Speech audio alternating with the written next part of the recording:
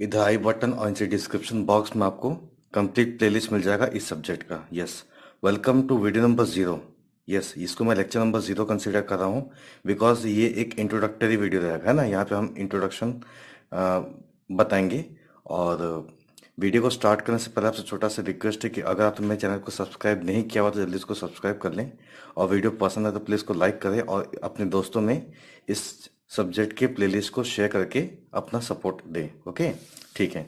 शुरू करते हैं थ्योरी ऑफ़ मशीन्स के साथ okay what is theory of machines yes it is that branch of engineering science which deals with the study of relative motion between the various parts of a machine yes it is the branch of engineering science which deals with the study of relative motion between the various part of a machine machine में जो भी parts होते हैं various parts होते हैं, उनके आपस का, यस, यहाँ पे लिखा हुआ है रिलेटिव मोशन उनके आपस का, है ना, जो मोशन रहेगा, उसको हम क्या बोलते हैं रिलेटिव मोशन बोलेंगे तो उसके स्टडी को हम क्या बोलते हैं यहाँ पे थियर ऑफ़ मशीन बोलते हैं and also the forces acts okay the forces which acts on them okay मैं फिर से बार स्टेटमेंट पढ़ ले रहा हूँ that is theory of machines is that branch of engineering science which deals with the study of relative motion between the various parts of a machine and forces which acts on them okay yes अब यहाँ पे एक word आया that is machine what is a machine machine आपको पता होना चाहिए क्या होता है yes machine a machine is a device which receives energy in some available form okay in some available form and utilizes it to do some other type of work. Yes machine क्या करता है? It is a device okay which receives energy in some available form okay कि क्या करेगा? किसी form से वो क्या करेगा? किसी अदर फॉर्म से वो यस yes, किसी अदर फॉर्म में वो एनर्जी को रिसीव करेगा और उस एनर्जी को यूटिलाइज करेगा to do some other type of work okay yes theory of machine को जो है आप दो भाग में पढ़ते हो। थ्योरी ऑफ़ मशीन जो इंजीनियरिंग साइंस का जो ब्रांच है, उसमें आप इस सब्जेक्ट को दो भाग में पढ़ते हो। पहला टाइप कौन सा होता है? Yes kinematics of machine okay और दूसरा अपने क्या होता है? डायनेमिक्स ऑफ़ मशीन है ना? तो यस देखते हैं। काइनेमेटिक्स क्या होता है ना? या फिर काइनेमेटिक्स ऑफ़ मशीन जो सब्जेक्ट है, वो क्या होता है?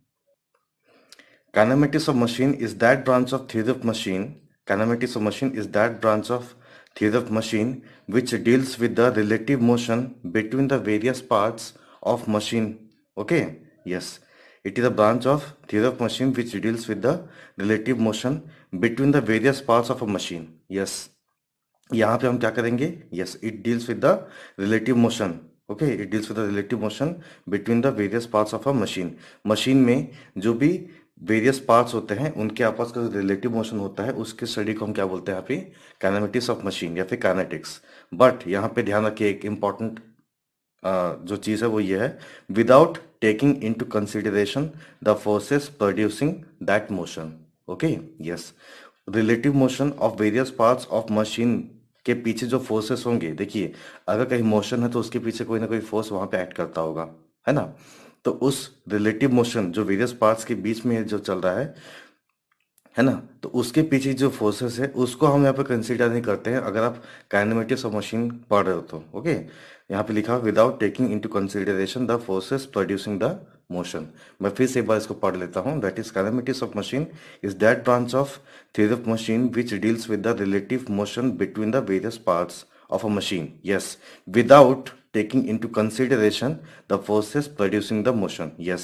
Relative motion जो हो रहा है various parts of a machine में, हम वहाँ पे इस सब्जेक्ट में क्या करते हैं? उसके पीछे के जो फोर्सेस है, उसको अपन यहाँ पे कंसीडर बिल्कुल भी नहीं करेंगे ओके बट अगर हम पढ़ेंगे dynamics of machine yes dynamics of machine अगर आप पढ़ रहे हो तो ये क्या है?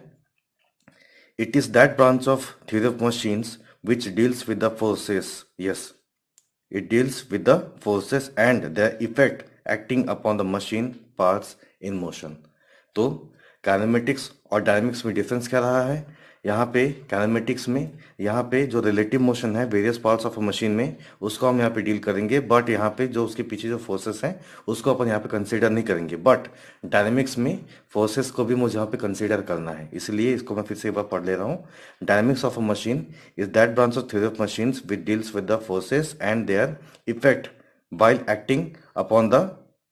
while acting upon the machine parts in motion okay तो इस वीडियो में इतना ही है। अगले वीडियो से हम स्टार्ट करेंगे चैप्टर वन जो कि हमारा रहेगा सिंपल मैकेनिज्म पे okay let us go to that